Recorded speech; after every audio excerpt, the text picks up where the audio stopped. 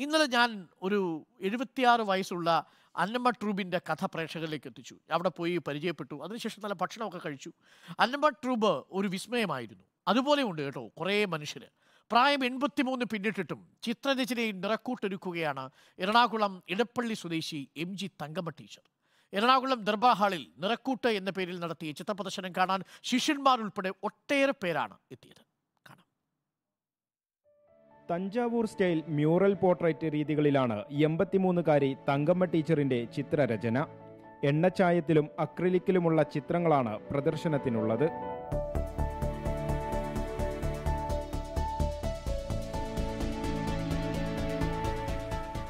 Retire ചെയ്തിട്ട്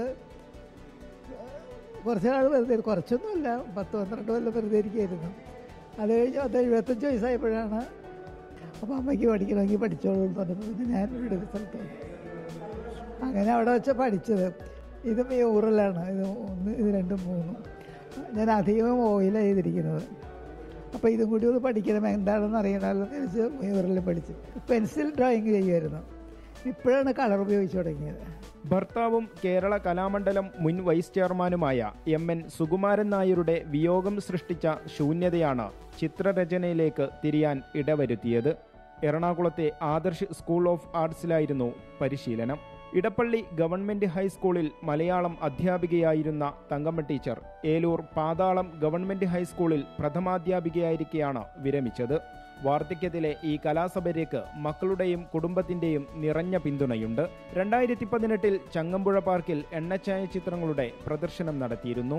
എൺപത്തിമൂന്നാം വയസ്സിലും ചിത്രരചനയിൽ ശോഭിക്കുകയാണ് തങ്കമ്മ ടീച്ചർ.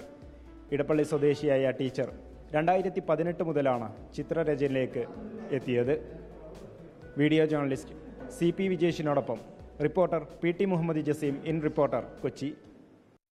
നിങ്ങൾക്ക് സന്തോഷമുള്ളത് ചെയ്യാൻ കഴിയണം. ചെയ്യുന്നതിൽ സന്തോഷമുണ്ടാവണം. ഇത് രണ്ടുമുണ്ടെങ്കിൽ ജീവിതം സുന്ദരമാണ്. അതിന് പ്രായം ഒരു നമ്പർ മാത്രമാണ് എന്ന് തെളിയിക്കുകയാണ്. എൺപത് വയസ്സെന്നൊക്കെ പറഞ്ഞ ഒരു വയസ്സാണോ? ആ വയസ്സിലല്ലേ പുതിയ പുതിയ മോഹങ്ങളും അഭിലാഷങ്ങളും ഒക്കെ ഉണ്ടാവേണ്ടത്. അങ്ങനെ മോഹങ്ങളും അഭിലാഷങ്ങളും ഒക്കെയായിട്ട് ആ യാത്ര പോകണം. ആ യാത്ര പോകുമ്പോൾ നമ്മളുടെ അന്ത്യയാത്ര വരുന്നൊരു ഘട്ടമുണ്ടാവും. വളരെ സന്തോഷത്തോടു കൂടി. ഇനിയൊന്നും ഈ ഭൂമിയിൽ ആസ്വദിക്കാൻ ബാക്കി വെച്ചിട്ടില്ല. ഈ ഭൂമിയിൽ സഹായിക്കാൻ ആർക്കും ഇനി ഒരു കുടിശ്ശികയുമില്ല എന്ന സന്തോഷത്തിൽ ഒരൊറ്റ യാത്ര പോകണം. അത്രേ ഉള്ളൂ.